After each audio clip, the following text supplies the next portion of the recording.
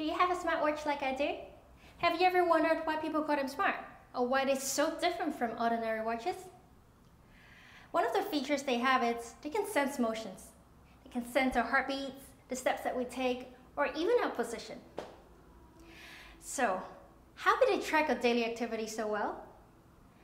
I'm Ellen, a coding teacher from Preface Nomad. Today let's talk about how a accelerometer works. The accelerometer is a more complex kind of sensor. It measures a number of things at once and is commonly used in phones, laptops, VR controllers, watches, or any devices you can think of. Developers make use of it in apps like Virtual Compass, health trackers, or even games that involve a shaking motion. The accelerometer sensor reports motion data, which include forward and backward, side to side, and rotational motion. Here you see the XYZ axis representing the three kinds of motions that I mentioned. The sensor makes the creation of simple activity tracking apps or shaking games possible for everyone. Take a look how it works on App Inventor. I will show you the simplest way to implement this function into any app or game.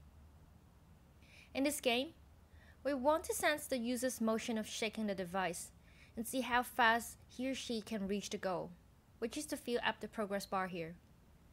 First of all, we find the non-visible accelerometer in the sensor drawer now, and drag it underneath the design. Then, we will need to set enabled to true, so when the device is accelerated or shaken, events can be generated. Let's set the condition and result of the game. Drag the events handler which handles the event of the changing accelerometer value, which is the XYZ value.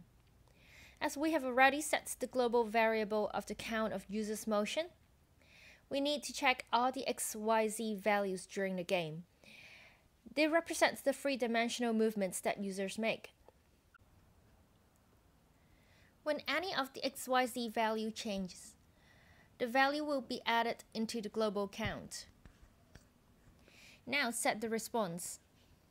If the added value reaches the target, which we use 100 to represent here, then the width of the progress bar will also reach 100%, which means the progress bar will turn all green.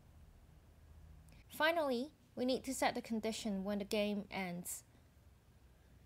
If the value reaches the target, the accelerometer should stop measuring user's motion, so we set enabled to false. This function can be done in many different apps, and the same logic applies on the smartwatch that I mentioned earlier. So, explore accelerometer and tell us what you have done on App Inventor. Give us a thumbs up if you like the class and leave us comments below if you need any help. Don't forget to subscribe to our channel and get notifications from us. Stay tuned and hope to see you again. Bye!